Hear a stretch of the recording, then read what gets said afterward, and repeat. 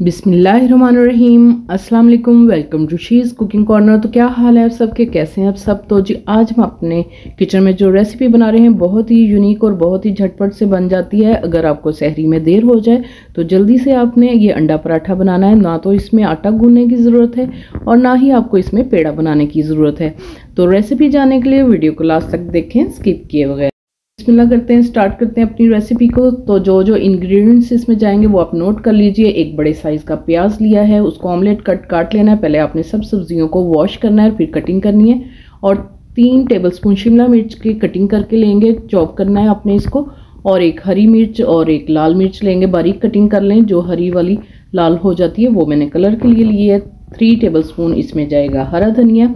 और एक बड़े साइज़ का टमाटर लिया है, बीज निकाल के आपने इसमें क्यूब्स में कटिंग कर लेनी है और एक हरा प्याज लिया है मैंने और ऑयल लेंगे हम अकॉर्डिंग टू तो जी इसमें चार अंडे डाल लेंगे, आप तीन भी ले सकते हैं तो पाउडर मसाले नोट कर लीजिए वन टीस्पून ज़ीरा जाएगा साबुत और खुशक धनिया powder one teaspoon chilli flakes भी वन टीस्पून जाएगा और वन टीस्पून इसमें नमक का डालेंगे हाफ़ टी स्पून इसमें हल्दी का जाएगा और गरम मसाला पाउडर डालेंगे वन टीस्पून और काली मिर्च का पाउडर भी वन टीस्पून आप नमक, मिर्च अपने हिसाब से कम या ज़्यादा भी डाल सकते हैं और वन टेबलस्पून भर के डालेंगे लहसुन अदरक का फ्रेश पेस्ट तो जी, अब पॉट में डाल लेते हैं ऑयल को.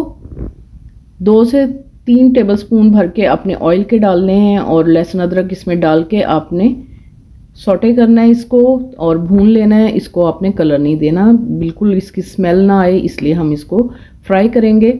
और इसमें ऑमलेट कट, कटी हुई प्याज डाल देंगे अब। मीडियम टू हाई फ्लेम पे आपने कुक करना है जस्ट इसको सॉफ्ट ही करना है कलर नहीं देना इसको। अब इसमें हम शिमला मिर्च कटी हुई डाल देंगे और साथ ही हम कटे हुए टमाटर इसमें ऐड कर देंगे, हरी मिर्चें भी साथ ही डाल देंगे और अच्छे से कुक करेंगे। इसी दौरान अगर आप मेरे चैनल पर नए हैं तो प्लीज़ इसको सब्सक्राइब कर लें लाइक और शेयर भी कर दें और साथ में बेल आइकन पे भी प्रेस कीजिएगा ताकि मेरी हर रेसिपी सबसे पहले आपको मिल सके।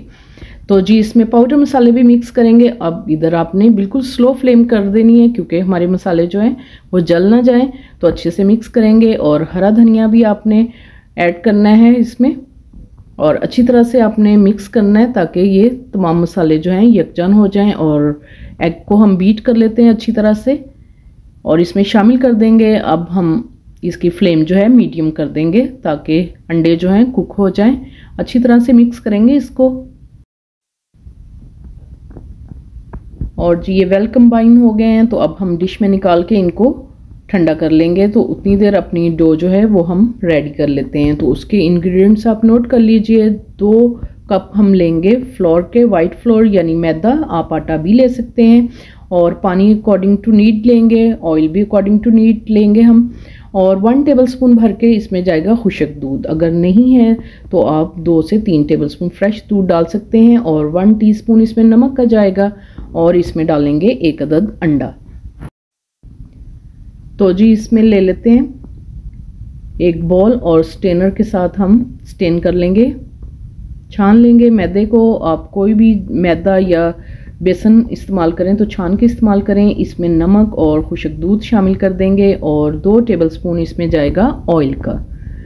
और एग को हम अच्छे से बीट करेंगे और बीट करके हम इसमें शामिल कर देंगे। और आपने अच्छी तरह से मिक्स कर लेना है और थोड़ा थोड़ा सा करके आपने पानी डालना है। एकदम से ज़्यादा नहीं डालना आपने। एग बीटर से भी आप बीट कर सकते हैं इसको। मैंने फोक से कर लिया इसको बीट ताकि इसमें कोई भी गुटली और लम्स वगैरह ना हो। तो आप कंसिस्टेंसी इसकी चेक कर सकते हैं कि ये ना तो ज़्यादा रनी है और ना ज़्यादा थी तो इस तरह से चम्मच से आप लाइन लगा के चेक कर लें। तो जी, इसके अंदर मैंने दो से तीन जवे लहसुन के लिए उसको मैंने नाइफ से बारीक बारीक कटिंग कर लिया है। आप क्रश भी कर सकते हैं इसको और दो टेबलस्पून इसमें हरा धनिया बारीक कटिंग करके अच्छे से वॉश करके आपने डालना है और अच्छे से इसको मिक्स कर देना है। तो जी पैन ले लेते हैं। एक से दो टेबल स्पून इसमें डालेंगे ऑयल के और अच्छी तरह से ब्रश से आपने इसको ग्रीस कर लेना है। आप तवे पे भी बना सकते हैं इसको और एक चम्मच भर के हम डालेंगे इस तरह से इसके अंदर। आपने इसको मीडियम फ्लेम पे इसको हल्का सा गर्म कर लेना है पैन को और फिर इस पर फैला देना है। अगर आपको मोटी लगे तो आप स्पैचुला की मदद से आप इसको पतली सी इसकी आपने रोटी तैयार करनी, पतली होनी चाहिए।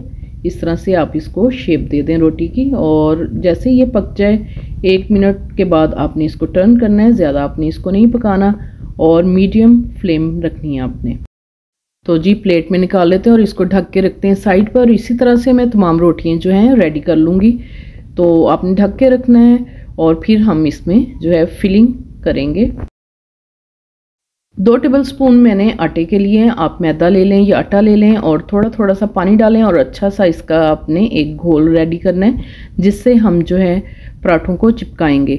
तो थोड़ा सा और पानी डालती हूँ और अच्छे से मिक्स करती हूँ तो एक स्लरी सी ये इस तरह से बन जाती है। इस तरह से आप देख सकते हैं इसकी कंसिस्टेंसी तो जी, एक पराठा ले लेते हैं और उसमें आपने सेंटर में एक टेबलस्पून भर के जो है फिलिंग रखनी है, जो हमने अंडे की बनाई है। आप कीमे की भी बना सकते हैं, चने की दाल की भी बना सकते हैं इस तरह से।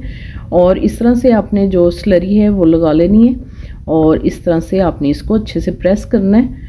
अच्छी तरह से प्रेस करना है ताकि कोई भी जगह जो है इसकी जो खाली ना रहे और अच्छी तरह से आपने इसको चिपका लेना है। और इसी तरह से तमाम जो है मैं वो रेडी करके रख लूँगी।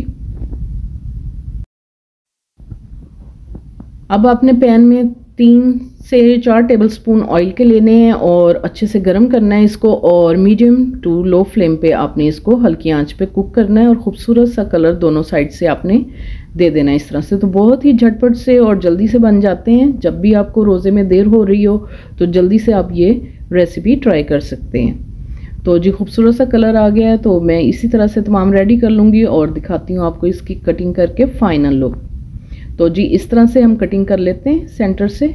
आप देख सकते हैं, बहुत ही मज़ेदार और बहुत ही खूबसूरत जो है रेसिपी हमारी रेडी हुई है। इसी तरह से आप इसको ट्राई कर सकते हैं। स्टेप बाय स्टेप ऐसे ही फॉलो कीजिएगा और पहले ही सहरी में बनाकर सबको हैरान कर दें।